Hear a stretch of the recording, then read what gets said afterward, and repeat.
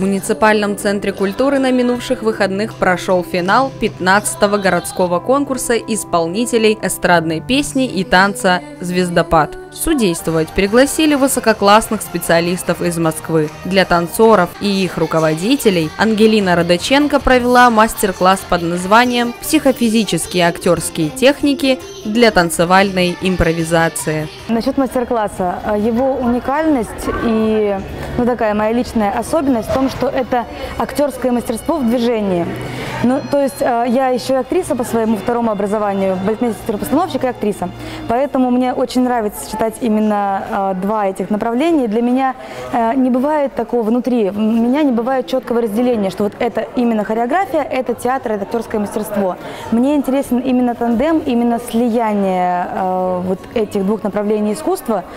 И э, мне интересно работать с детьми, с хореографами, именно подходя с двух разных сторон. Ну, то есть э, не бывает движения без эмоции, и не бывает эмоции без движения. Э, и вот какому-то осмысленному движению, осмысленным жестам, осмысленному телу мне хотелось бы привести участников мастер-класса.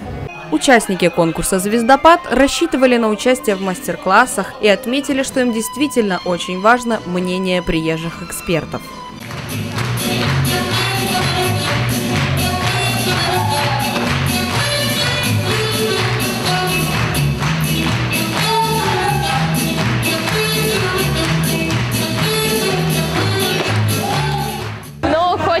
Конечно, услышать, во-первых, их мнение о нашем номере, послушать ошибки, их принять, ну и, конечно, советы выслушать, может быть, какой-нибудь мастер-класс. Это всегда интересно, обучаться чему-то новому. Волнение присутствовало у всех участников финала, а также болели за юные таланты руководители и родители. Первый этап прошел отлично, мы выступили, все составы прошли во второй тур. В принципе, было не так волнительно, как сейчас. Почему сейчас Потому что мы понимаем, какой груз ответственности на нас лежит, хотим показать все, что умеем, ну и, естественно, победить.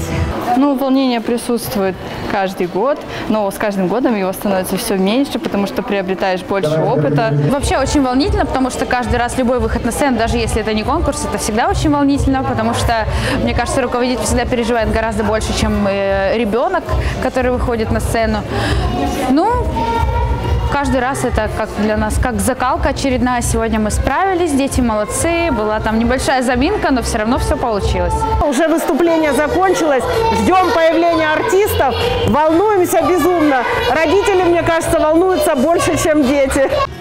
Финал прошел успешно. Конкурсанты посетили обучающие занятия от именитых гостей. Юные звездочки проявили себя лучшим образом. Теперь с нетерпением ожидают выступления лучшие в своих номинациях на гала-концерте, который состоится 10 апреля в 5 часов вечера. Приобрести билеты можно на вахте Центра культуры. Количество мест ограничено.